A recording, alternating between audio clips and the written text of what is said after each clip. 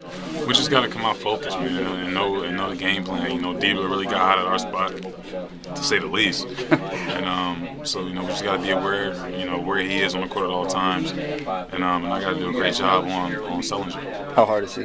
What, what kind of a matchup problem does he present? He's a good player. You know, what I mean, wide body. You know, seals well, and, and you know they look for him pretty much on every possession. So I have my work cut out for him. There's only 40. We're, we're 40 minutes away from winning the Big Ten Conference uh, tournament championship. So we just got to go out and, and, leave everything out there on the court, and we'll be fine. Can you do it?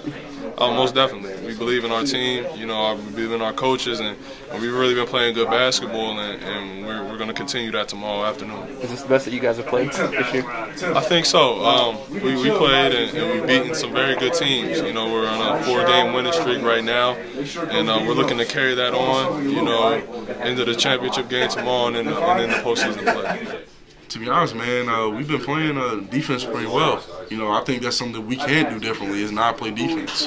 You know, we've been playing defense, you know, containing the ball, and uh, everybody here has been contributing on defense from DJ to me to Drew in the post.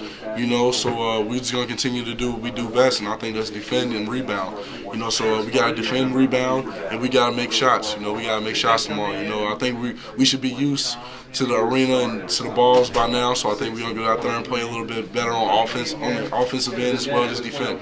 What, what do you think it's gonna take to get that win tomorrow?